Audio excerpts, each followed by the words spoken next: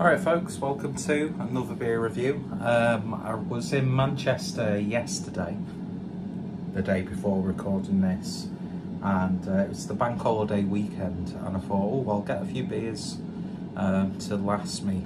Not just the bank holiday weekend, but also the week leading up to uh, Ringington Farm Fest.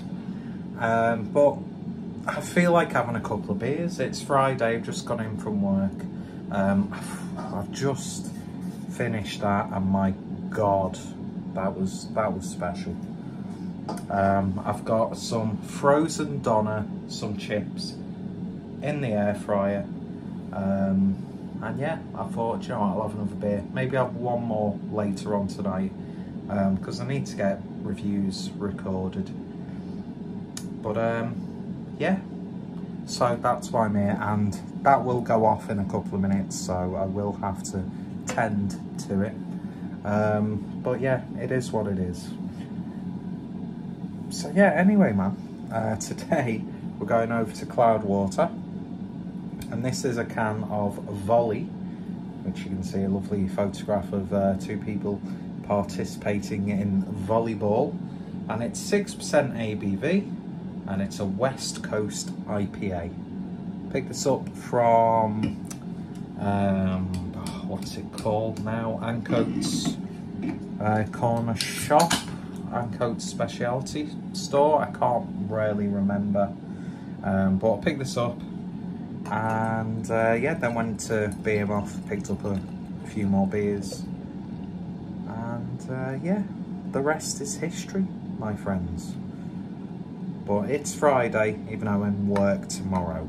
Um, so I don't really have a weekend but it's bank holiday weekend so I'm sure I'll probably end up picking up some cheap lager on my way home. God what's happened to me here um, probably pick up some cheap lager on my way home. Shut up uh, tomorrow after work.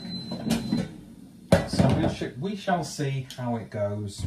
But I know for a fact that this this beer that I've bought will not last me because um, I've not really sort of like really treated myself to some good beer for a long time. Well, I have because I did a Trembling Madness order not too long ago that I'm still paying for. But you know what it is. You know how it goes. We all know how this story ends. Those chips aren't yet, but I'll lift that one out and have a snack in it after this review. Well, yeah, Frozen doner, I tell you what, you can get some semi-decent um, doner meat from the supermarkets now. And I know I'm not on camera, hello. Um, so that makes this video just trash. Like most are, but it is what it is. So I'm just going to get this sorted. Oh.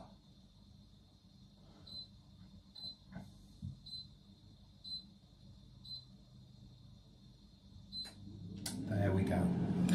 So um, yeah, a West Coast IPA from Cloudwater. Um, I've noticed that we're getting some interesting stone beers, like classic stone beers. So whilst I was in um, Beermoth, picked up a, a, can of Ruin 10 uh, from Stone, which I'm looking forward to. I might save that for, you know, stretch it out a bit because um, having another double IPA will probably not be the most sensible option. But I did pick up when I did my um, Trembling Madness order a can of Double Bastard, which was oh, chef's kiss, and then a black IPA, which was also chef's kiss. But I uh, I shared those cans whilst we were at Bickerstock with um, the legend that is Mersey Beers and um, our mutual friend who I've come to know called Steve, and I'll leave it at that because I don't want to dox people, okay? But it is what it is. So this is a West Coast IPA. Um, I know for a fact that that Ruin 10 from Stone could potentially be like the the answer to my West Coast way back when situation. Um, but I know Cloudwater can brew a very good West Coast. I had, um, on the walk home from work, I had a can of the pale ale that they did with Arpus, and that was very good. Um, which again I probably should have kept hold of but you know that's my little treat at the end of the even though it's not the end of the work week because I'm working the following day but just walking home from work with a nice beer when the weather's like this I mean I did have to trudging around the umbrella trudging's not the right word but I did have to carry my umbrella on the walk home which uh, was not very fun uh, very cumbersome even though it was completely threatened rain after the weather we've had, but the rain didn't appear on the walk home. But as soon as I don't take my umbrella, then there's going to be a fucking downpour on the way home. So, you know, it's, it's a burden that a lot of us British people have to carry, aside from institutional ignorance and racism. So yeah, this is Volley from Cloudwater West Coast IPA, 6% ABV, beer in the glass then, and it's got a tiny bit of haze to it, not too much, but just a bit. Um, I wouldn't have drank tonight if uh, friends of mine actually wanted to do something, um, but know, I've got to be up early because I'm out tomorrow. Be tired, be tired, and do what you need to do. They don't watch this because people in my you know, real life, aside from the chew people, couldn't give two flying fucks about what I do. Um, just care about me, please. Anyway, beer in a glass, it looks really, really nice. Golden, slightly amber, head dissipated rather quickly.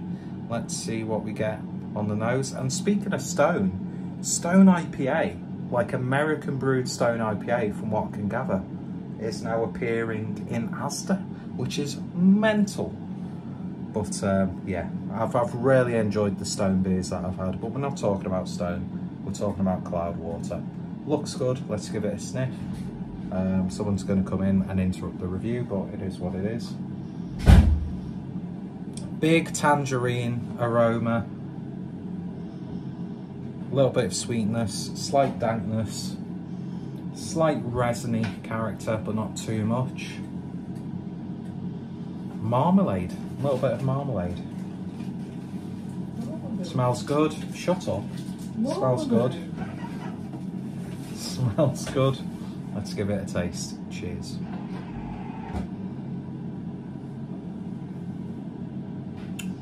Ooh. It's a bit raspy.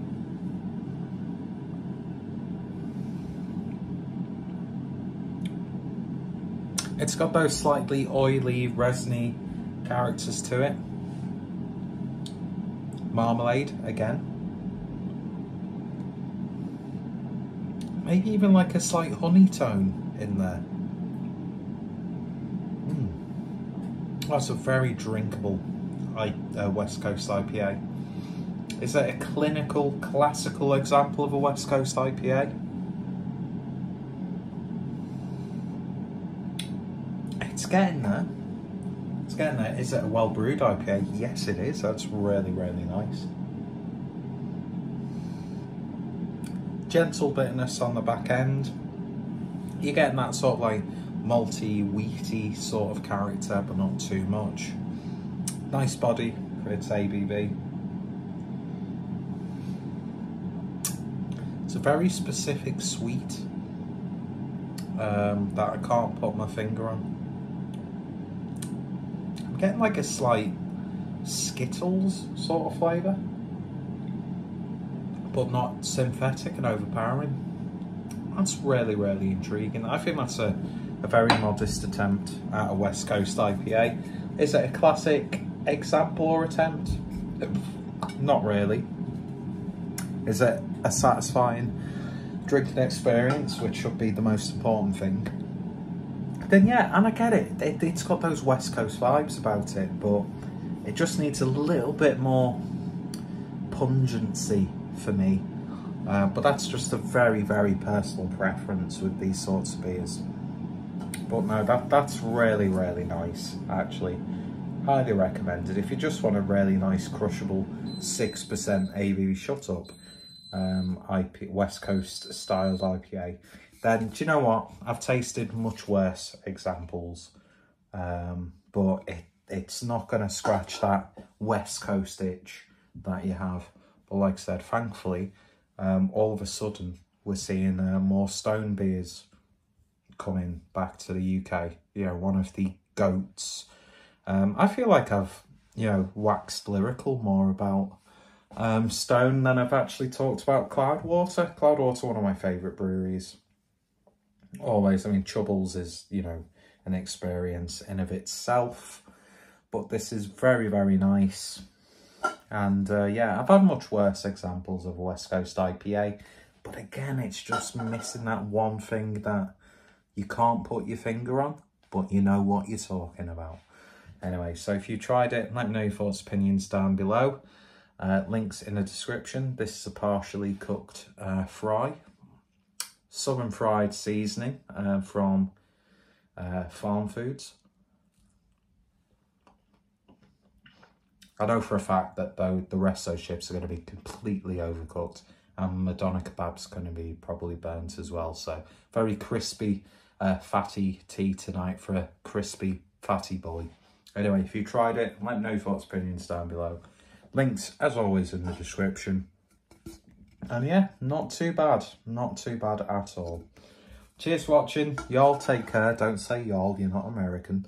And I shall see you later. And what the fuck is going on with my hair? Bye.